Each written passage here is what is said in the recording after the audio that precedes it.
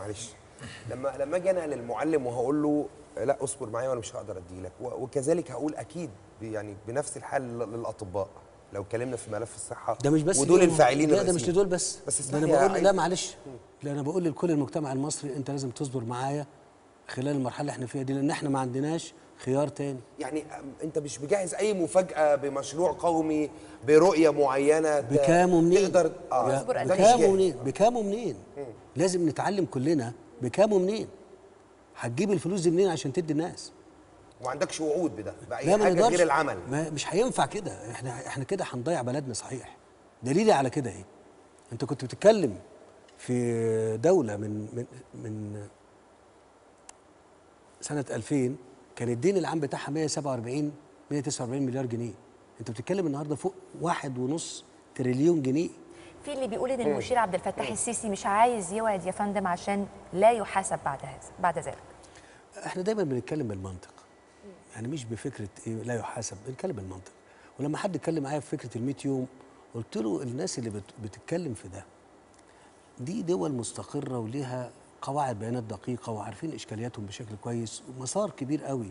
إحنا لسه لسه ما وصلنالوش. بمنتهى الأمانة كده. بمنتهى الأمانة كده. النهارده ال- ال- البرامج اللي بت- بتناقش بيبقى في حزب ورا منه عنده كوادره وعنده مراكز دراسات وأبحاث بتشوف الإشكاليات الموجودة في البلد وتقعد تفكر في برنامج يتم تنفيذه. هل إحنا موجودين فيه؟ عندنا الكلام ده موجود في مصر؟ لأ. لما إحنا نقول إن إحنا هندي للناس فلوس ونقول وعد والوعد ده حتى لو هنحققه ويكون على حساب الوطن. ينفع نقول كده؟ ما ينفعش نقول كده. لازم النهارده الكلام اللي نقوله يكون قابل للتنفيذ وملوش تأثير سلبي على الاقتصاد بس المصري. ممكن يكون خطاب تيئيسي يا سياده مش لما أقول للناس ما عندناش واستحملوا معانا آه، ممكن يستحمل بقى خمس ست سنين. أقول له استحملوا معانا قد إيه؟ وعندنا خطة إحنا نوصل قلنا لإيه؟ إحنا قلنا إن إحنا بنطمع من خلال التخطيط ده الطموح ده إن إحنا في سنتين المصري يشعر بتغير. الأربع سنين يبقى حطينا رجلينا على الانطلاق. ده اللي إحنا بنتكلم فيه. مين طيب، العقول اللي بتشتغل مع حضرتك يعني؟ مين اللي بيشترك في إحنا الرؤية؟ أنا قلت الكلام ده قبل كده وهقوله تاني. يا ريت. إحنا ما جبناش إلا كل عقول نيرة من داخل مصر وخارج مصر. وهقول الاسمين بس. أنا ك- عايزين- جبنا المهندس هاني عازم. بتاع ألمانيا. آه. بتاع الأنفاق. جبنا ال- آه، النقراشي. بتاع الطاقة المتجددة. طبعا الدكتور فاروق وفريق معاه فاروق الباز. فريق معاه عشان يقول خريطة مصر الجيولوجية والمائية والأسرات اللي موجودة فيها. فريق كبير قوي في كل حتة. وبنقعد وهنقعد مع أي حد ممكن يسري تحركنا خلال الفترة دي والقادمة. وخلاص خدتوا كل الأفكار دي يا فندم ولا في أفكار هتبقى منتقاة؟ يعني في أفكار هناخدها وأفكار لا هن... إحنا قلنا البرنامج أو قلنا الرؤية بتاعتنا بشكل يعني شامل كده. وإحنا متحركين. لو في حاجة جت قدامنا أفضل من كده هنعملها. لأن إحنا هدفنا المصلحة.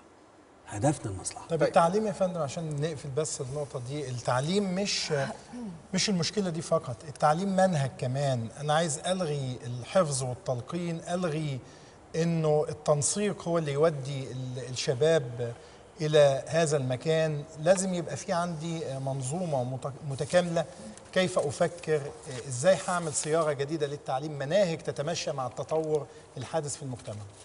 أنا عايز أقول لك بالنسبة للنقطة ديت أنت المنهج ممكن تغيره وتجيب مناهج جيدة جدا لكن أنا لما جيت ركزت على المعلم بيعتبره اللي هو العامل الإنساني الحاسم.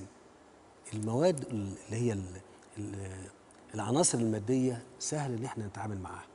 إنما العناصر اللي هي مرتبطة بالإنسان وقدراته هي دي العناصر المتغيرة اللي إحنا محتاجين نتعامل فيها بفاعلية حقيقية. عشان كده قلت إيه أنا شايفكم ومقدر وإحنا مش أنا بس إحنا كمجتمع شايف المعلم ومقدره سواء كان في تعليم عام أو خاص في الجامعة أو الجامعة الحكومية أو الجامعة ال- ده مقدر جدا وصبرا.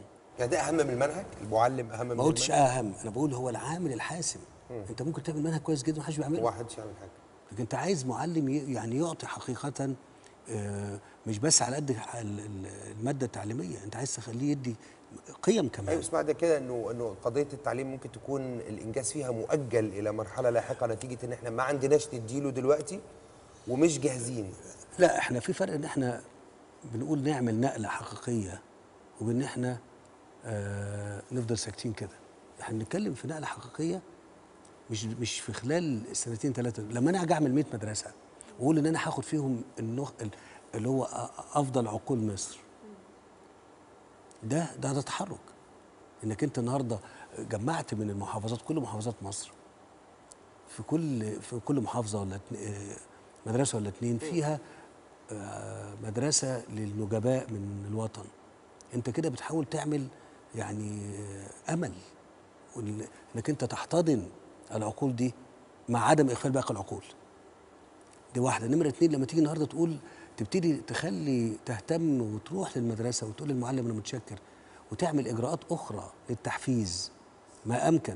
لما تعمل مجالس إدارة تكون فاهمة ال- ال- الفهم اللي أنا بتكلم فيه ده إن هي تبقى مجلس آه، آباء موجود في المدرسة مقدر للمعلم مش آه، يعني في إجراءات كتير ممكن نعملها تقول للمعلم أنا متشكر منك وأنا معاك وأنا بساعدك. لغاية لما نقدر نصل للمرحلة اللي أنا الوعد اللي أنا بتكلم فيه أنفذه. بس أنت حضرتك مركز على المعلم قوي يا المشير المعلم- شايف إنه الأساس. أنا آه أنا شايف إن المعلم البني آدم هو الأساس. الإنسان هو الأساس.